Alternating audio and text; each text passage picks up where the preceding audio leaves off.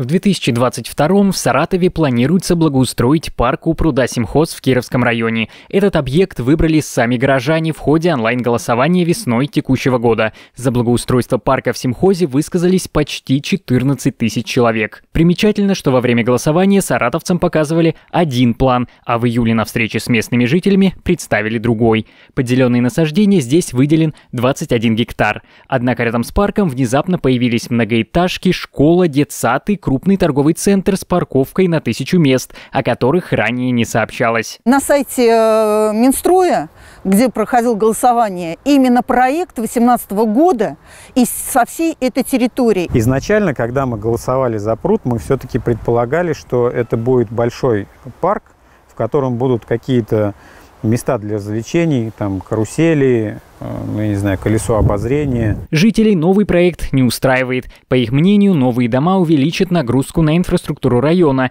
Это при том, что даже сейчас в Солнечном не хватает социальных объектов, а дороги и общественный транспорт не всегда справляются с потоком пассажиров. К тому же застраивать зеленую зону опасно еще и по другой причине, уверены жители. Так как пруд находится очень близко, мы, экологи, предполагают, что это может нарушить его подпитку, соответственно, пруд может быть просто уничтожен. Застройка 25-этажками, э, она просто вообще э, уничтожит пруд однозначно.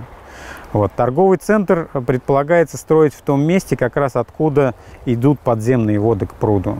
А, а так как там предполагается еще и подземная парковка, то, соответственно, это тоже приведет к тому, что пруд будет уничтожен. Проблема в том, что территория, на которой планируют благоустраивать парк, принадлежит муниципалитету, а другие участки находятся в собственности или в аренде частников. Именно здесь и могут появиться жилые застройки. Однако представители администрации города подчеркивают, что на данный момент за разрешением на строительство в мэрию еще никто не обращался, а показанный ранее проект не является окончательным. Дело в том, что территория, то есть собственник сами распределяется теми возможностями, которые есть. Э, многоэтажки э, вопрос немножко не, не в данной контексте надо рассматривать. Э, пока никаких разрешительных документов не заходили, не запрашивали, поэтому как там дальше будет развиваться территория, это, наверное, дальше покажет время.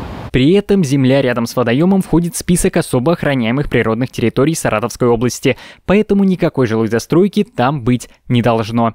В таких местах разрешено строить только объекты культурной или научной сфер. Об этом высказывался в том числе и председатель правительства региона Роман Бусаргин. Чиновник также пообещал, что направит запрос в Росимущество, чтобы выяснить, на каком основании федеральная земля была передана частным фирмам. У самих жителей есть свое объяснение, почему именно данный участок земли так привлекателен для застройки. Строить хотят здесь, потому что они хотят устроить у себя во дворе э, хорошую парковую зону. То есть это очень удобно. Вы берете, строите многоэтажку, и, а город вам строит рядом парк.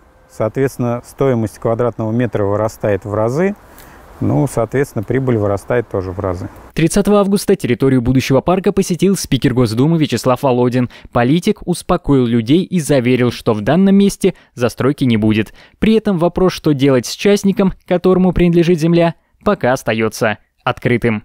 Тимур Аралбаев, Андрей Крахмалев. Свободные новости.